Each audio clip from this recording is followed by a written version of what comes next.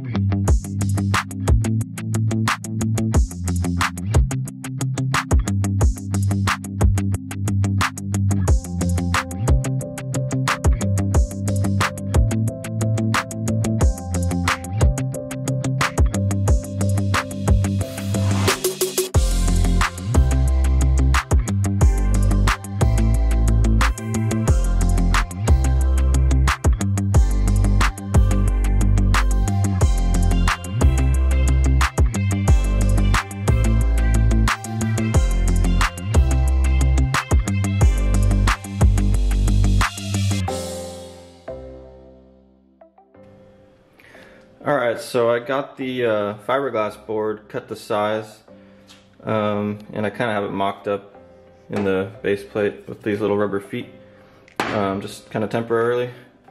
Um, so now I can come back and lay out all the components where they need to go, and I'll pilot drill the holes.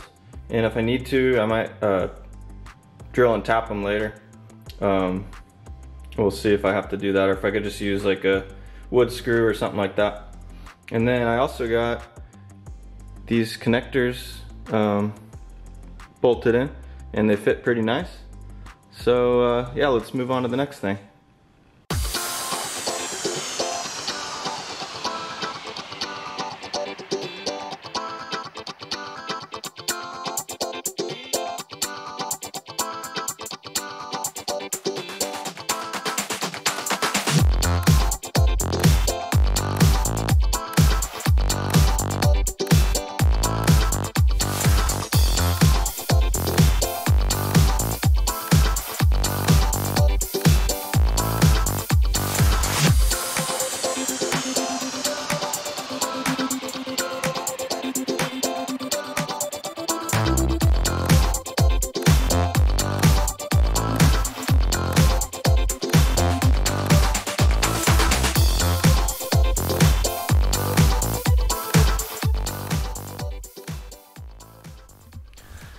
So I've got all the components mounted.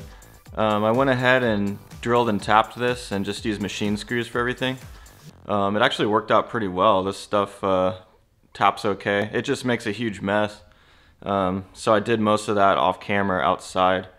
Um, you, you, saw me when I used the bandsaw to cut this stuff inside and it just made a huge mess. So I just took it outside and finished it up there.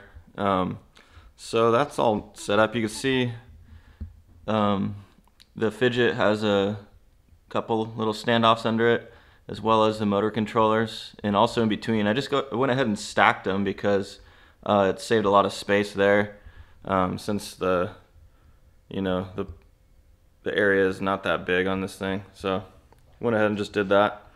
Um, and then the relays got mounted up pretty nice on these heat sinks. I'll have to go back and put uh, a thermal compound in between the heat sinks and the um, relays. And then the power supply just has two little M4 screws, or sorry, number four, not M4, uh, holding it on. So that's all done. So what I'd like to do next is uh, move on to this rear cover and make some little tabs to uh, mount that guy on there.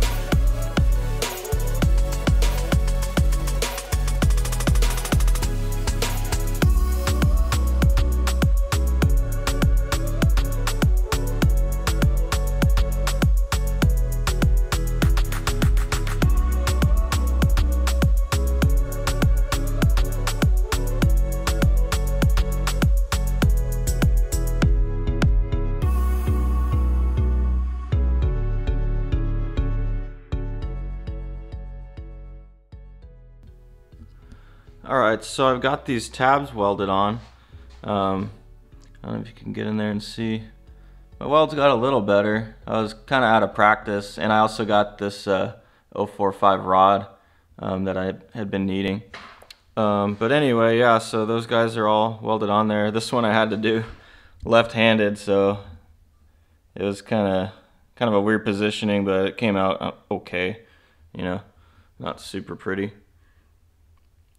Um, but anyway, so I got the pilot holes drilled in this. So what I need to do now is uh, set the cover on there and then just transfer the holes over. Hopefully I get them to kind of line up in the middle. I kind of marked it out. You can't really see now because of the heat. Um, but yeah, and then I'll uh, drill and tap those and we'll get the cover mounted and that should be it.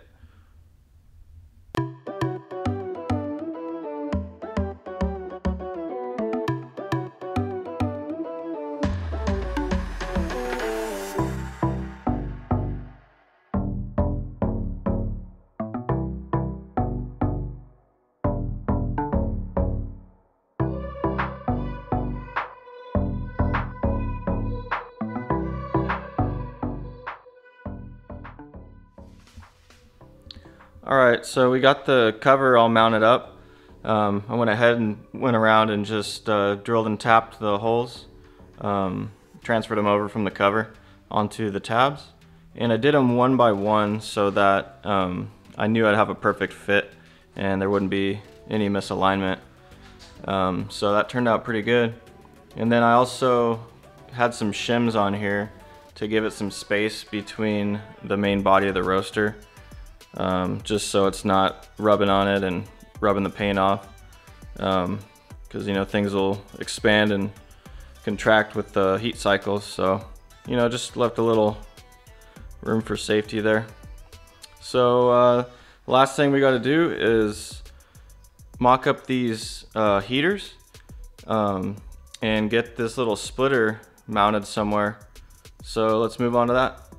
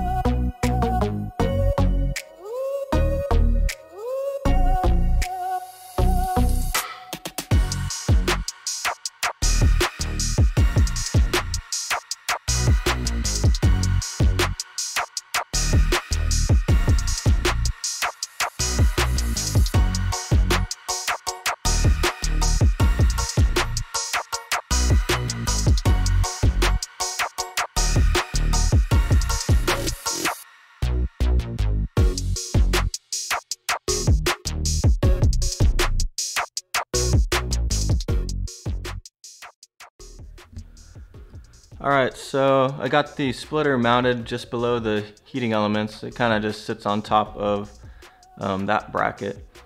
Um, you can see we gotta wire it still, but we'll save that for another video. That's gonna do it for today's video. Uh, if you liked the video, go ahead and leave a comment down below. Uh, hit the like button and subscribe for more content. We'll see you in the next one.